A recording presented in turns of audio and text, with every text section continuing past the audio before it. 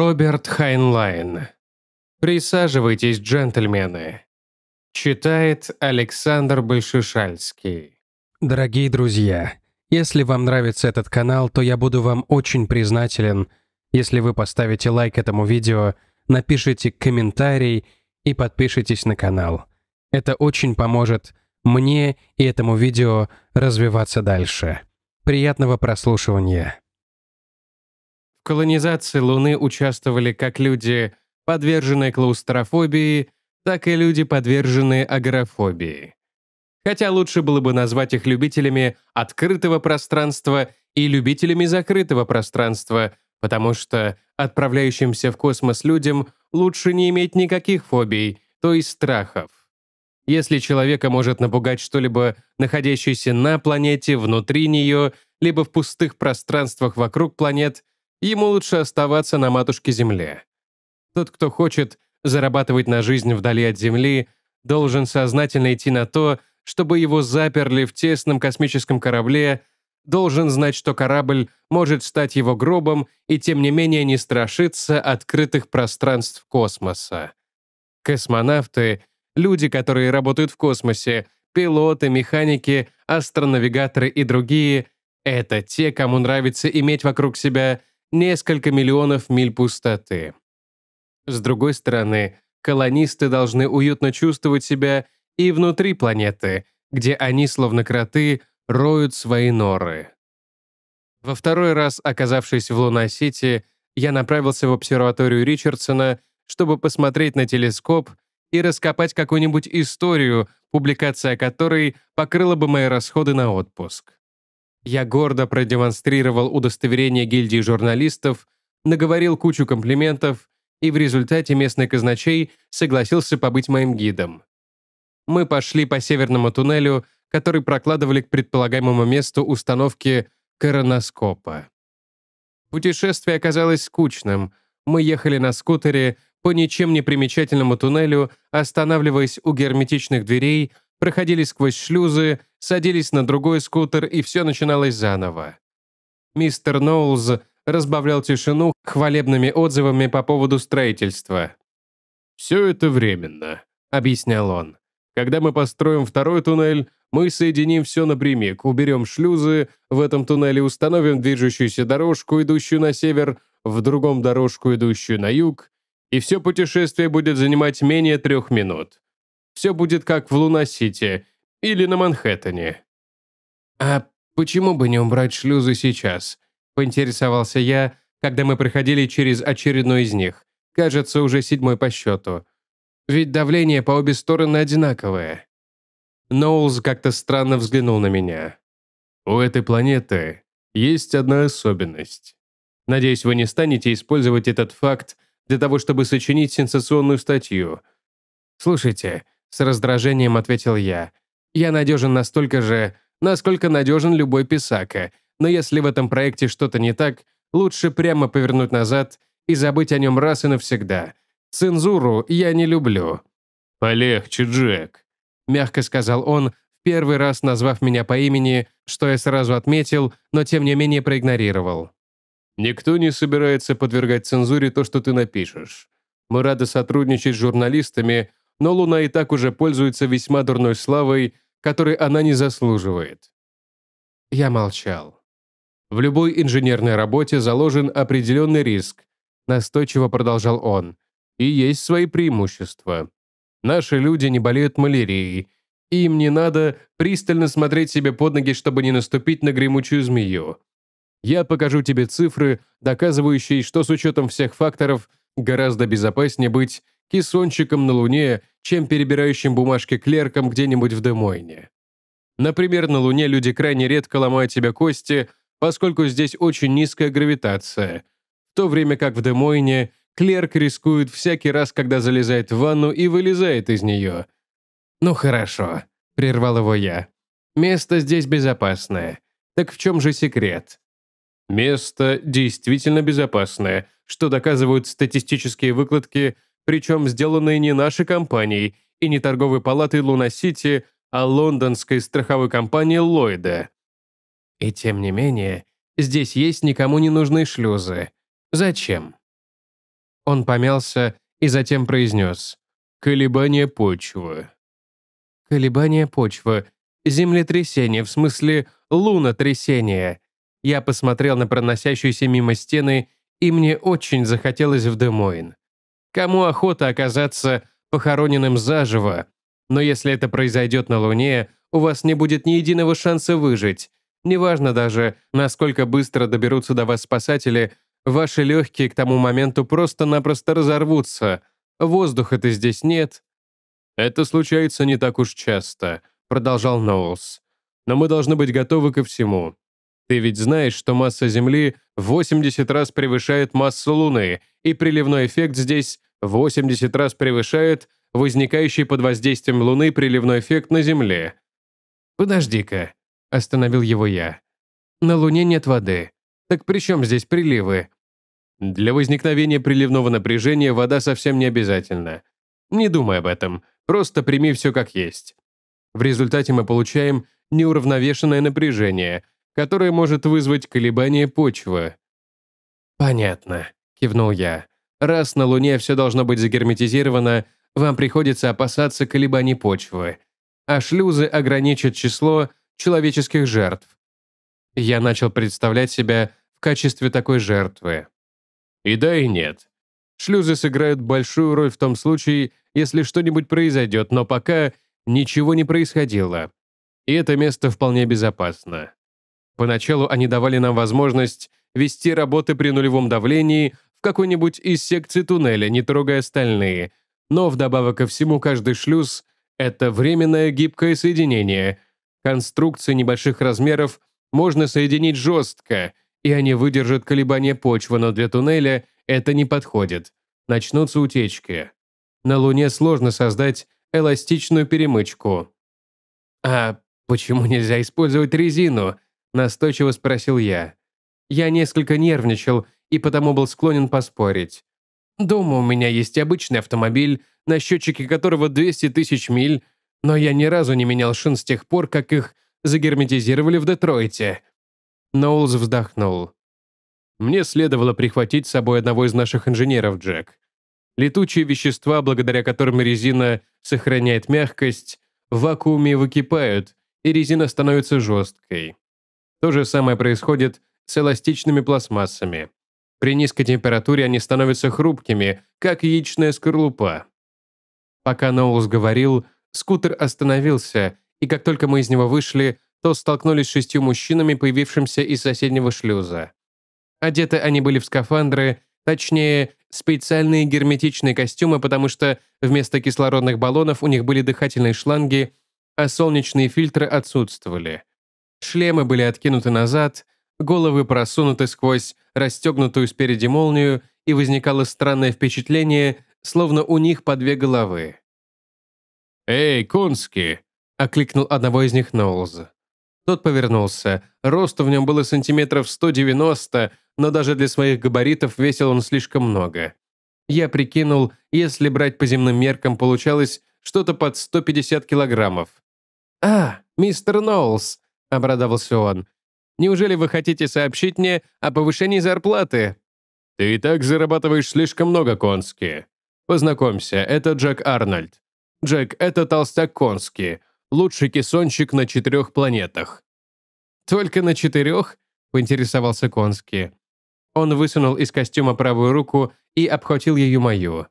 Я сказал, что рад с ним познакомиться, и попробовал вернуть свою руку обратно, пока он не успел ее изуродовать.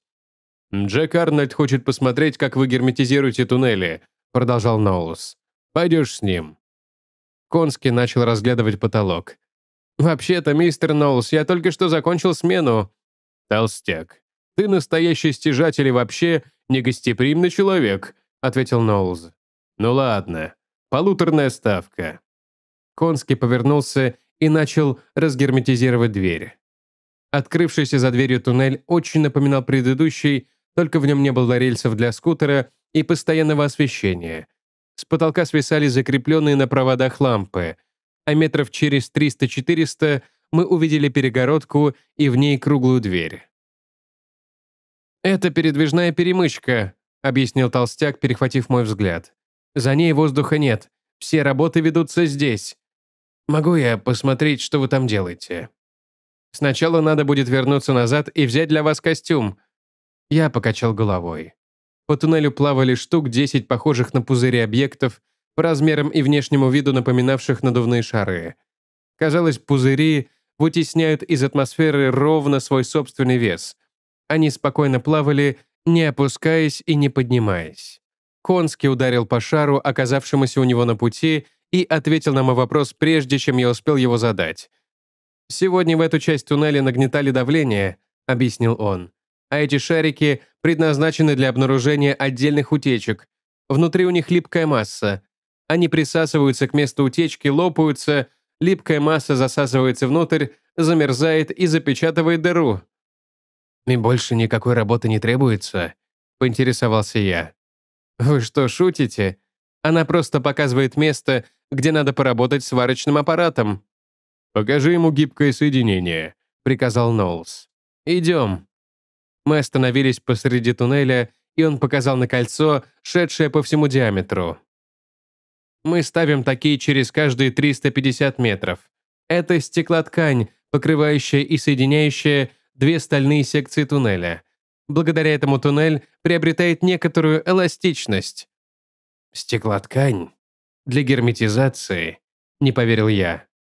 Стеклоткань не герметизирует, она укрепляет. Здесь 10 слоев ткани, между слоями силиконовая смазка. Со временем она портится снаружи, но лет на пять, а то и больше, покрытия хватает. Я поинтересовался у Конски, нравится ли ему работа, рассчитывая раздобыть какую-нибудь историю для статьи. Он пожал плечами. «Да все в порядке. Ничего особенного. Давление всего в одну атмосферу. Вот когда я работал под Гудзоном...» «Где тебе платили десятую часть того, что ты получаешь здесь», — вставил Ноулс. «Мистер Ноулс, вы меня обижаете», — запротестовал Конски. Дело не в деньгах, дело в творческом подходе. Возьмем для примера Венеру. На Венере платят не меньше, и пошевеливаться там надо будь здоров. Под ногами такая жидкая грязь, что приходится ее замораживать. Там могут работать только настоящие кессонщики, а половина работающих здесь молокососов — обыкновенные шахтеры. Если кто-то из них заболеет кессонной болезнью, остальные просто перепугаются до смерти. Лучше расскажи ему, почему ты сбежал с Венеры, толстяк». Конский принял гордый вид. «Осмотрим гибкое соединение, джентльмены», — спросил он. Мы еще немного побродили вокруг, и я уже готов был возвращаться обратно. Смотреть было особенно не на что. К тому же, чем больше я здесь находился, тем меньше это место мне нравилось. Конский возился с дверью шлюза, ведущего в обратном направлении, когда что-то произошло. Я оказался на четвереньках, вокруг была кромешная тьма. Возможно, я закричал, точно не помню. В ушах стоял звон. Я попытался встать, и когда у меня это получилось, замер на месте. В такой тьме мне еще не приходилось бывать, вокруг была абсолютная чернота. Я подумал было, уж не ослепли. Темноту прорезал луч электрического фонарика, нащупал меня и пошел дальше. «Что это было?» – заорал я. «Что случилось? Это толчок!» «Перестань вопить», – спокойно ответил мне Конски. «Это не толчок, это какой-то взрыв. Мистер Ноулс, с вами все в порядке?» «Надеюсь». Ноулс шумом выдохнул воздух. «Что случилось?» «Не знаю, надо немного осмотреться». Конски встал на ноги и, тихо посвистывая, начал водить лучом фонарика по туннелю. Фонарь у него был инерционным, который светит только если все время давишь на рычаг, поэтому он светил неровно, постоянно помигивая. «Похоже, все в порядке. О, Господи!» Луч фонарика остановился на участке гибкого соединения где-то возле пола. Там уже начали скапливаться шары. Три были у цели, к ним подплывали остальные. На наших глазах один из шаров лопнул и превратился в клейкую массу, отмечая место утечки. Щель всосала лопнувший шар и начала шипеть. Тут же подплыл второй, немного покачался на месте и тоже лопнул. На этот раз щели понадобилось больше времени на то, чтобы всосать и проглотить клейкую массу. Конски передал мне фонарь. «Поработай немного, парень». Он высунул из гермокостюма правую руку и поднес ее к щели, где как раз лопнул третий шар. «Ну как, толстяк?» — громко спросил Ноулс. «А кто его знает? Похоже, что образовалась дыра размером с мой большой палец, и воздух она засасывает со страшной силой. Как это могло произойти?» «Понятия не имею. Наверное, что-то пробило туннель снаружи. Ты закрыл дыру?» «Да вроде. Сходите-ка, проверьте манометр. Джек. Да, Джек? Посвети ему». Ноулс потопал гермодвери. «Давление стабильное», — крикнул он оттуда. «Показания Верниера видите?» «Конечно, плотность воздуха стабильная». «Каковы размеры утечки?» «Не больше фунта или двух. Какое здесь было давление?» «Как на Земле?» «Значит, мы потеряли 1,4 фунта». «Ну что ж, все не так уж плохо.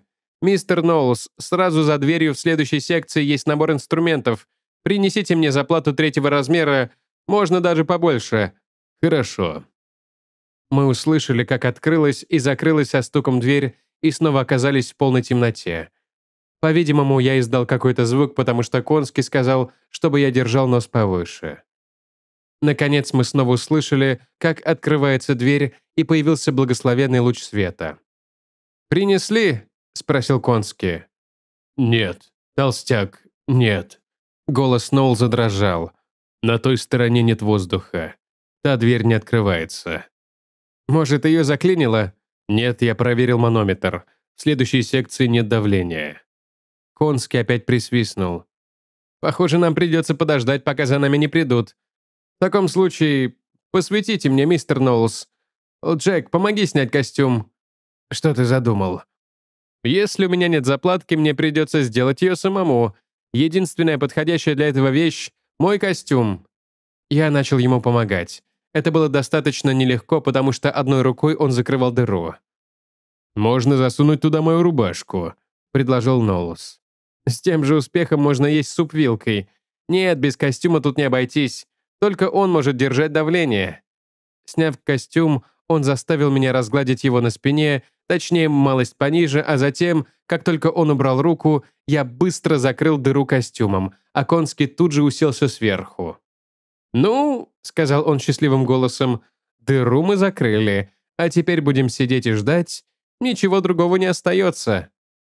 Я хотел спросить его, почему он не уселся на щель прямо в костюме, но затем понял, что та часть костюма, которая находится ниже спины, сморщилась, а для того, чтобы закрыть дыру, надо наклеить на оставшуюся от шаров клейкую массу абсолютно гладкую заплату.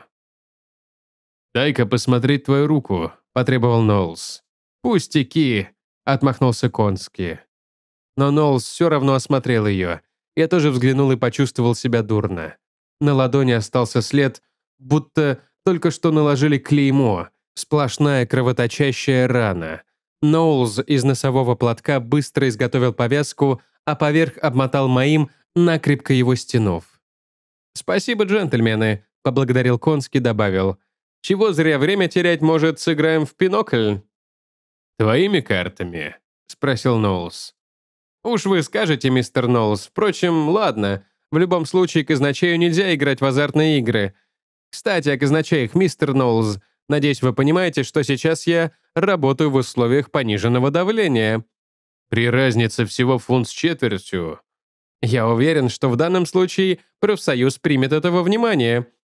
А если я сяду на дыру? Повышенная ставка касается и тех, кто находится рядом. Ну ты жлоб. Ладно, тройная ставка. Это больше похоже на такого доброго человека, как вы, мистер Ноулз, Надеюсь, что ваше долгое ожидание будет приятным. Толстяк, как ты думаешь, сколько нам ждать? Это не должно занять у них больше часа, даже если им придется идти от обсерватории Ричардсона. А почему ты думаешь, что они нас станут искать? Не понял. Разве в вашей конторе не знают, где вы? Боюсь, нет. Я сказал им, что сегодня уже не появлюсь. Конский задумался. Я не сдал свою карточку, так что они узнают, что я внутри. Если они об этом и узнают, то только завтра, когда твои карточки не окажутся в моей конторе. Есть еще этот болван на входе. Он знает, что у него внутри еще трое.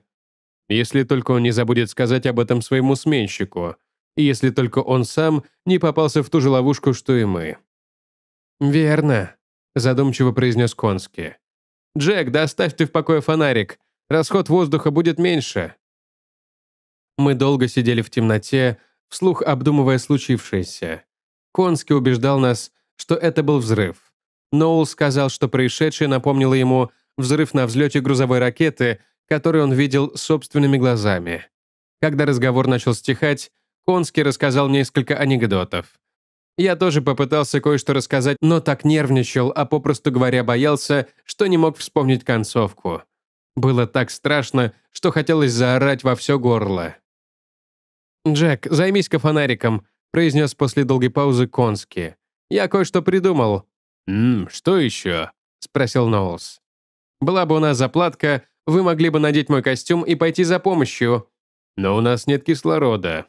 «Потому-то я вас и выбрал. Вы здесь самый маленький, и вам вполне хватит воздуха, имеющегося в самом костюме, для того, чтобы пройти через следующую секцию».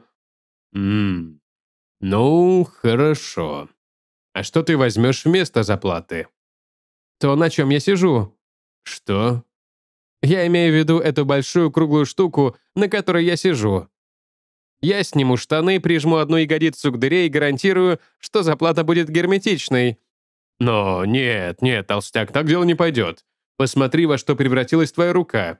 Ты же кровью весь истечешь, прежде чем я вернусь». «Ставлю два к одному, что нет. Пятьдесят ставите?» «А если я выиграю, то с кого мне получать деньги?» «А, вас не проведешь, мистер Ноулс.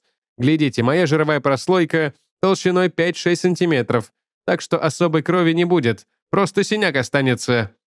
Ноулс покачал головой. Никакой необходимости в этом нет. Если мы будем сидеть спокойно, нам хватит воздуха на несколько дней». «Да дело не в воздухе, мистер Ноулз. Вы заметили, как здесь похолодало?» Я давно это заметил, просто не придавал значения. В моем состоянии, а мной владели страх и отчаяние, холод казался чем-то вполне естественным. Теперь я начал об этом задумываться. Когда отключился свет, отключилось и отопление, и теперь будет становиться все холоднее и холоднее, и холоднее. Мистер Ноулз тоже это заметил. «Да. Ну ладно, толстяк, давай делать по-твоему». Я сел на костюм, пока Конски готовился к операции. Он снял с себя штаны, поймал один шар, раздавил его и обмазал клейкой массой правую ягодицу, а затем повернулся ко мне. «Ну, птенчик, давай, снимайся с гнезда. Мы быстро поменялись местами, потеряв, несмотря на злобное шипение в дыре, лишь небольшое количество воздуха. Конски ухмыльнулся. «Ребята, а здесь удобно, как в мягком кресле!» Ноулс поспешно надел костюм и ушел, унеся с собой фонарь. Мы снова остались в темноте. Через какое-то время Конски нарушил тишину. «Джек, есть одна игра, в которую можно играть в темноте. Ты в шахматы играешь?» «Ну да, немного. Хорошая игра. Я играл в шахматы в декомпрессионных камерах, когда работал под Гудзоном. Может, поставим по двадцатке для интереса?» «Что? А, давай». Он мог предложить поставить по тысяче. Мне было все равно. «Прекрасно! Королевская пешка на Е3». «Э, «Хорошо. Королевская пешка на Е5». «А ты консерватор, да? Ты напоминаешь мне одну девицу, с которой я был знаком в Хобокене. То, что он о ней рассказывал, не имело никакого отношения к шахматам, хотя и доказывало, что в определенном смысле она тоже была консерватор. «Пешка на d4, напомни, чтобы я рассказал тебе о ее сестре. Похоже, она не всегда была рыжей, но ей хотелось, чтобы люди считали, что она такой родилась. И она... Извини, твой ход». Я начал думать, но голова у меня шла кругом. D7, D5. Хорошо, ферзь на F3, так вот она... Он начал подробный рассказ. Я уже слышал однажды эту историю и сомневался, чтобы подобное когда-нибудь с ним происходило. Мы сделали несколько ходов. Со своим рассказом он меня несколько приободрил, и я даже улыбнулся в темноте. «Твой ход», — добавил под конец Конски. Ох, я уже не мог вспомнить положение фигур на доске и решил подготовиться к рокировке, что в начале игры всегда достаточно безопасно. Э, конь на c6. Ферзь бьет пешку на f7, шах и мат.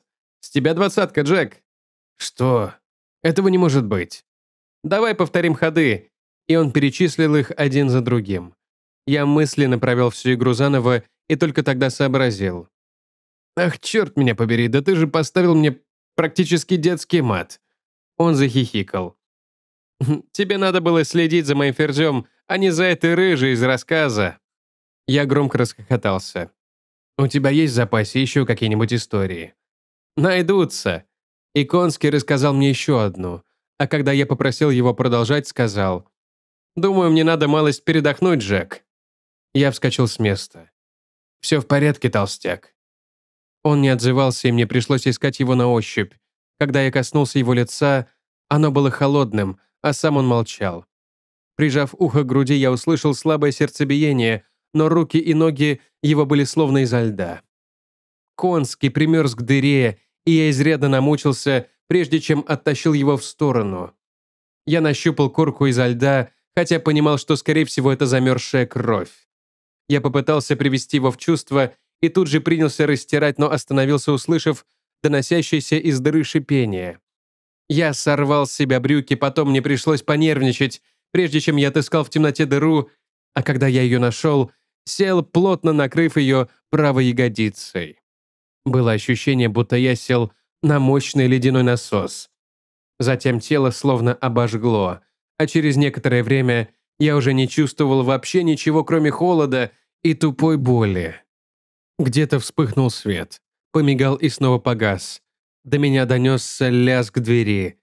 Я, что было сил, закричал «Ноулз!» – орал я. «Мистер Ноулз!» Фонарик снова замигал. «Иду, Джек». «Вам удалось!» – громко зарыдал я. «Вам удалось!» «Нет, Джек, я не смог пройти следующую секцию. А когда я добрался назад к гермодвери, то потерял сознание. Он остановился, чтобы перевести дыхание. Там воронка. Фонарик перестал мигать и ударился о пол. «Помоги мне, Джек», — странным голосом произнес он. «Разве ты не видишь, что мне нужна помощь? Я пытался...» Я услышал, как он споткнулся и упал. Я позвал его, но он не ответил. Я попытался встать, но мне это не удалось. Я застрял, как пробка в бутылке. Я пришел в себя, лежа лицом вниз. Подо мной была чистая простыня. «Ну как, получше?» – спросил кто-то. Это был Ноулз, одетый в пижаму и стоящий возле моей постели. «Вы мертвы», — ответил я. «Ничуть», — усмехнулся он. «Они вовремя добрались до нас». «Что произошло?» Я смотрел на него, не веря своим глазам. «Как мы и думали. Взрыв ракеты. Беспилотная почтовая ракета потеряла управление и врезалась в туннель». «А где толстяк?» «Здесь». Я повернулся и увидел толстяка, лежавшего на животе, как и я. «С тебя двадцатка», — весело сказал он. «С меня...» Я обнаружил, что у меня безо всякой причины текут слезы. «Ладно, с меня двадцатка. Но чтобы получить ее, тебе придется приехать за ней в Демоин». Спасибо за прослушивание этого ролика. Если вам он понравился, то я предлагаю вам подписаться и поставить лайк. Так это видео увидит еще больше людей. А также вы можете стать спонсором или поддержать этот канал по реквизитам в описании этого видео и заказать мой голос на сайте balch.ru. Спасибо.